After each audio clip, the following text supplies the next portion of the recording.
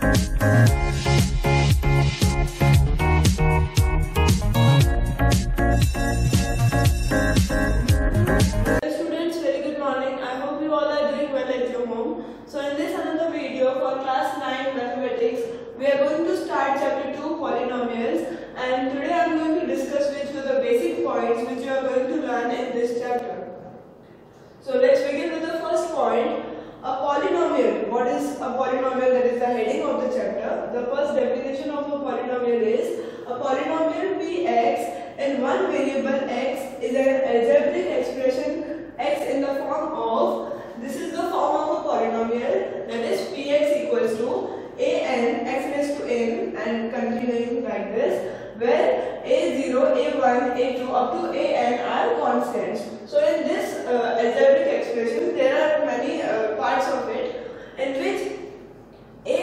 an is a is called a coefficient like it's a coefficient of x x is a variable here as you can see in the definition x is a variable and an is its coefficient and n represents the power n का मतलब होता है कि उसकी power कितनी है right so हमेशा जब भी ये दोनों एक साथ लिखे जाते हैं a n and x n is term as a term इन दोनों को जब हम साथ में लेते हैं a coefficient and a variable तो उसे हम क्या नाम देते हैं? Term now the polynomials are divided into different types on the basis of its coefficient and its power there are different types on the basis of coefficient and power so let's begin with the first that is coefficient a polynomial of one term is called a monomial जिस polynomial में सिर्फ़ एक ही term आता है। For example, that is 4x. सिर्फ़ एक ही टर्म जिसमें आता है यहाँ 4 जो है वो कोएफिशिएंट है और x जो है वो वेरिएबल है। तो ये इसको हम क्या कहेंगे? Monomial third point is a polynomial of two terms is called a binomial जिस पॉलिनोमियल में दो टर्म्स आते हैं उसे हम कहते हैं binomial for example 4x square plus 3x तो इसको हम क्या कहेंगे? Binomial then a polynomial of three terms is called a trinomial likewise अगर इसमें थ्री टर्म्स और आ जाए तो ये हम क्या कहेंगे इसको एक trinomial right now we come to the rights of polynomial on the basis of their degree right and that is the power हम उसे डिग्री या पावर कुछ भी कह सकते हैं। That is a polynomial of degree 1 is called a linear polynomial this polynomial में x की डिग्री या पावर जो होती है वो केवल 1 हो तो उसे हम क्या कहेंगे? लीनियर पॉलिनोमियल उसमें कितने भी टर्म्स हो सकते हैं that doesn't depend upon that but उसकी जो हाईएस्ट डिग्री होगी, वो 1 होगी. For example the polynomial is 4x 3 तो here the highest degree of x is 1 यहाँ पर आप x रेज टू 0 लिख सकते हैं and you all know that किसी भी नंबर या किसी भी वेरिएबल के ऊपर अगर आप पावर 0 लगाते हैं तो उसका आंसर 1 ही होता है next is a polynomial of degree 2 is called a quadratic polynomial जिस पॉलिनोमियल में हाईएस्ट डिग्री जो है x की या किसी भी वेरिएबल की अगर 2 है तो उसे हम क्या कहेंगे quadratic polynomial the example is again suppose 4x square plus 3x and the power of x here is 2 and here is 1 so highest power will be 2 so it will be called a quadratic polynomial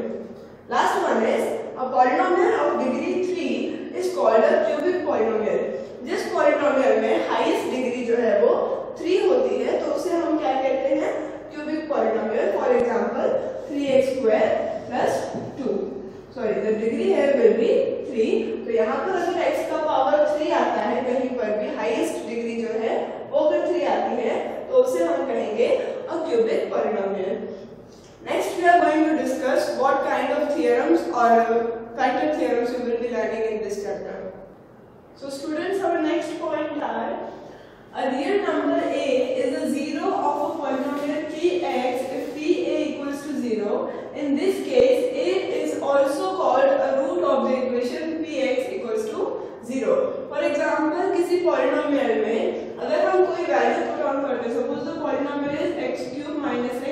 1. Here if we put on any value uh, in the place of x, for example the value is one. P x में हम one put on करते हैं तो ये जो one अगर put on करने के बाद इसका answer अगर zero आता है तो one जो है वो उसका root है यानी कि उसका answer है so, P a equals to अगर जब भी हम उसके value put on करेंगे अगर उसका answer zero आया